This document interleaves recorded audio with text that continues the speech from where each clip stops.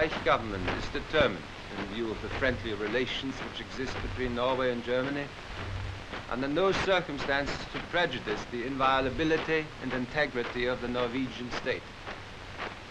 2nd of September 1939, Deutsches Reich.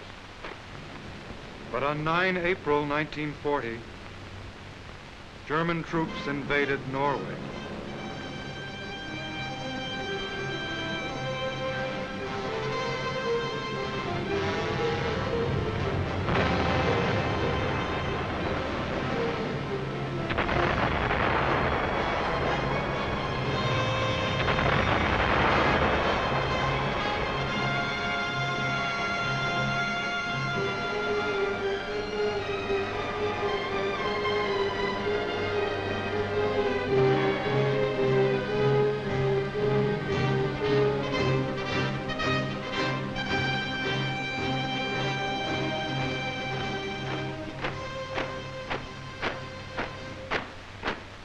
I assure the governments of Belgium, Holland, and Luxembourg that Germany will not violate their neutrality. 6th of October, 1939, out Adolf Hitler.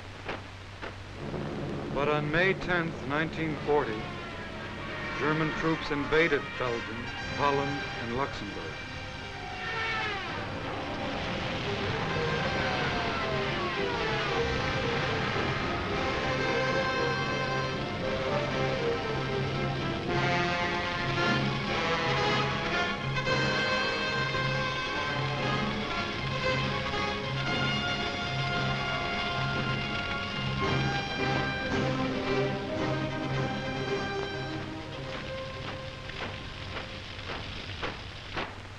Firmly established, reliable relationship of Germany to Yugoslavia will represent an element of calm to our nerve-wracked continent. This peace is the goal of all who are disposed to perform really constructive work. 1st of June 1939, Adolf Hitler. But on 6 April 1941, German troops invaded Yugoslavia.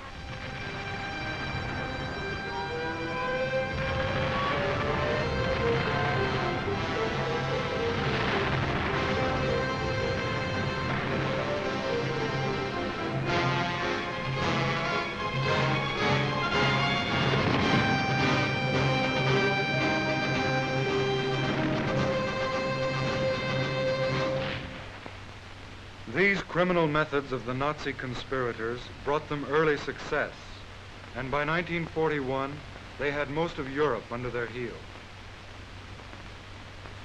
Now an evil ambition for power and more power drove them on. But two of the world's mightiest nations, the United States and Soviet Russia, remained to block the Nazi drive for world supremacy. They had to be dealt with firmly, immediately. And now Germany asked for cooperation from her full partner in aggression to the east and from her junior partner to the south. In Berlin, they drew up the Axis Pact, the blueprint of the new order, and parceled out the continents of the world for Axis domination.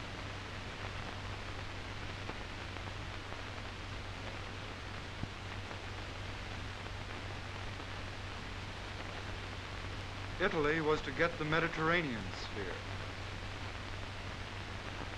Japan was to get the Orient, and to Germany would go the rest of the world.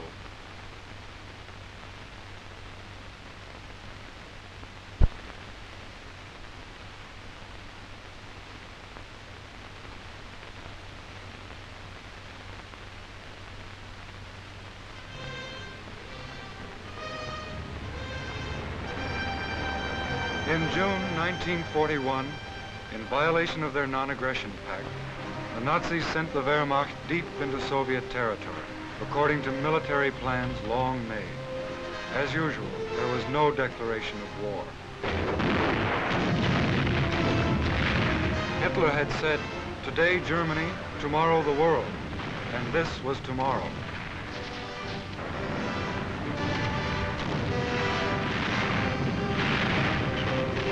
Land warfare in the east, air warfare in the west. For now Defendant Goering's Luftwaffe was hurled with full force against the people and cities of Britain. Hitler, after all, had told the Reichstag, I will blot out their cities.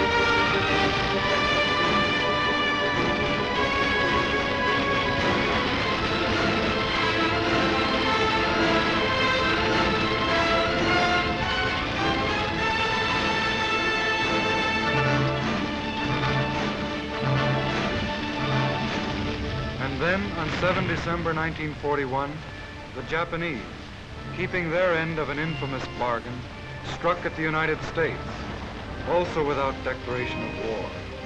Japanese bombs rained on Pearl Harbor, spreading war finally to the Pacific.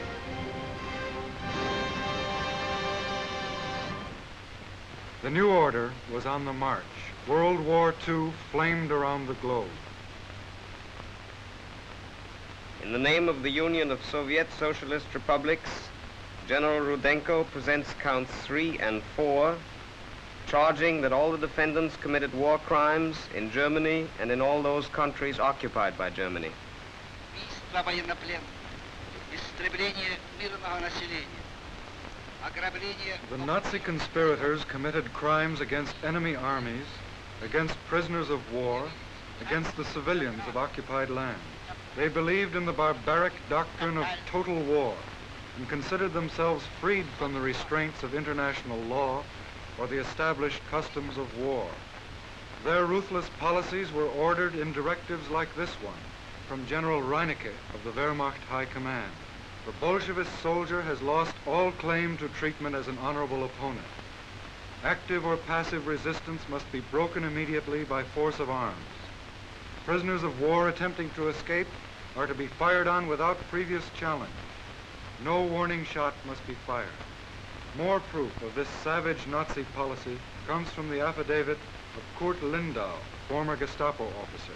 There existed in the prisoner of war camps on the Eastern Front small screening teams headed by lower-ranking members of the Gestapo. It was the duty of these teams to segregate the prisoners of war who were candidates for execution according to the orders that had been given and to report them to the office of the Gestapo.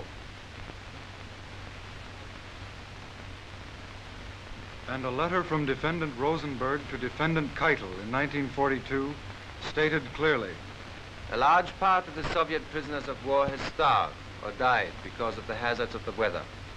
In many cases, prisoners of war could no longer keep up on the march because of hunger and exhaustion. In numerous camps, no shelter for the prisoners was provided at all.